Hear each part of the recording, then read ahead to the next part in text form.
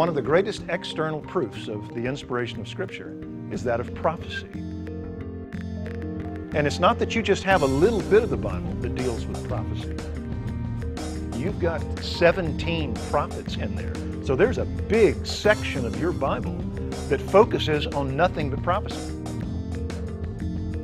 Daniel, Things to Come, from pastor, author, and teacher Tommy Nelson. The most remarkable of all of the prophets is that of Daniel.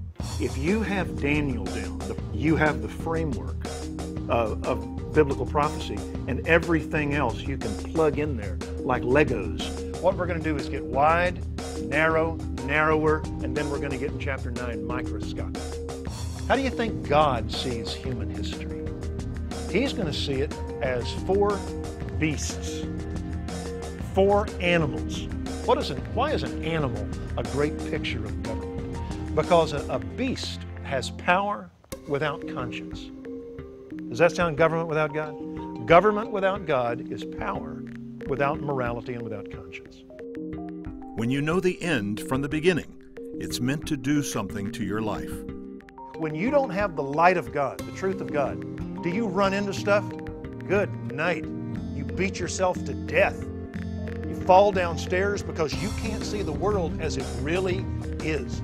Is part of our preaching that there will be a judgment of all men? It should be. It affects our preaching.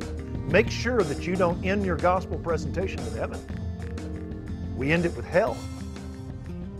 When I interpret the first coming of Christ on the colt, the foal of a donkey, dying upon the cross, rising from the dead, do I interpret those prophecies literally?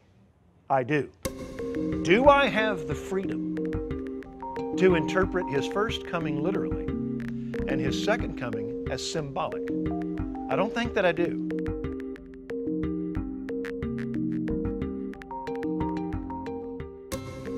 Daniel, Things to Come.